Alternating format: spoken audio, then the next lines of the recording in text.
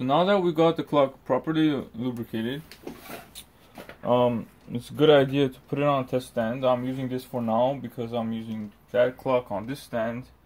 Um, but whatever works, uh, whatever floats your boat. In this case, this one will work fine as long as it's uh, not interfering with any of these fans or flywheels and it's not interfering with the pendulum swinging.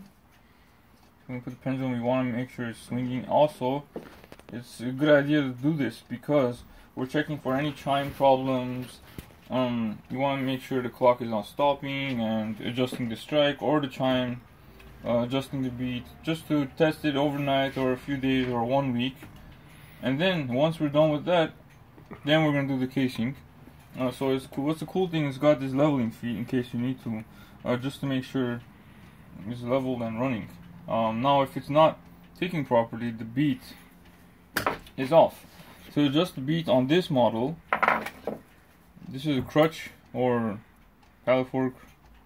Um, anyways, this can be bent from left to right to adjust the beat.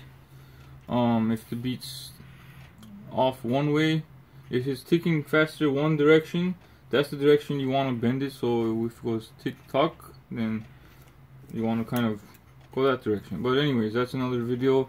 Um, very very easy. You just have to work with this. But first off, you want the clock to be uh, finalized when you before you give it back to the customer uh, you want to make sure that the, when the clock is in the case is leveled on a level surface it's good to have one of those bubble level gauges like this or something better than this um, put it on your surface make sure you adjust the beat and then after when the customer takes it home it's working fine. So I'm just gonna test it out make sure the chimes are working. There's a lot of adjustments here a lot of levers that need special attention. Over here and you got a rack you got the cam over there.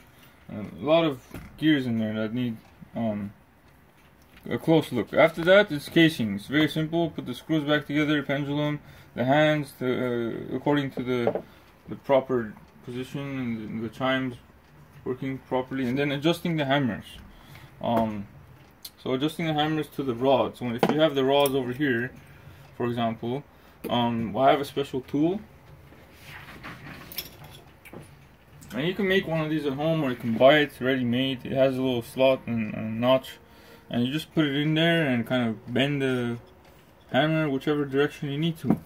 Very critical to get the right tone. You don't want the hammers to rest on the rods. You want it to reverberate.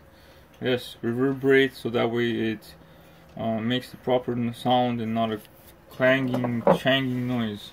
Um, after that, every, you know, I'm happy, the customer's happy, and the clock's working good, and that's it.